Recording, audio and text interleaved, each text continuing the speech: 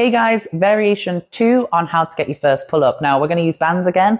This is a good variation if you don't have a squat rack or a cage to put the bands on the hooks or the safety pins, but you've still got access to a pull up bar. Now this variation is still good. You just can't progress it incrementally. It's the variation before, but there is still a way to progress it. Now obviously start with a thicker band, work your way to a thinner band because you're going to progressively get less help.